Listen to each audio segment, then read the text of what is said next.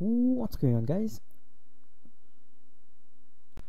What's going on guys? I'm the Gaming Indian and welcome to Ark Survival Evolved. So this video is actually going to be a lot of snippets put together because the whole length of the all the snippets uh, snippets that are included in this video are is close to six hours and I cut it all together because um, first of all a lot of audio issues second of all I was like moving around and some of these I didn't actually realize I was recording. So but I was doing sort of useful stuff so I kind of let it in uh, let it go into the video.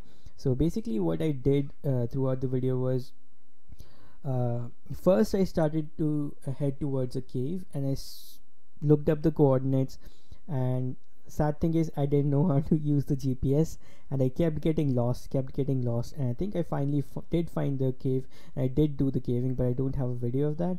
Uh, I may be wrong. Uh, I'm making the voiceover beforehand and I'm gonna edit the parts together so I don't really know. I don't remember having that because as, as I said it's a six hour long video in total so I haven't I have like skipped or through it. Uh, then I started doing some underwater things because I realized one of the caves was underground. Uh, sorry not underground but uh, underwater. So I started uh, mm, gathering a lot of sea creatures. A lot of my sea creatures kept dying and I finally decided to get a basilosaur because I learned its special ability what it grants to the user uh, rider. So I got a basilosaur and then I think I made a few uh, structures and uh, I think I was showing you guys a second base I was building near um, Iron Mountain uh, where I can get metal from.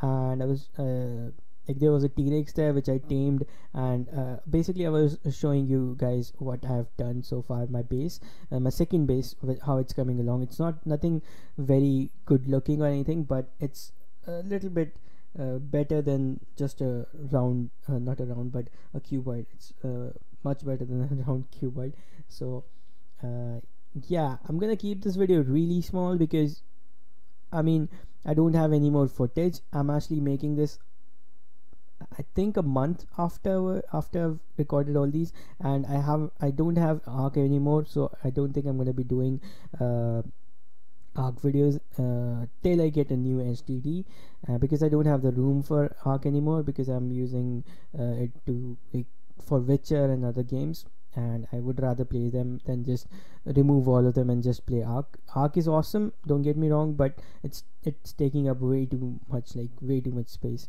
So yeah, that's that of, about Ark. So this this video will sort of sort of be like a catch up. So if I if next time when I finally get my HDD and I install Ark, you will know what all I've done and you don't get surprised by all the structures and stuff that I have.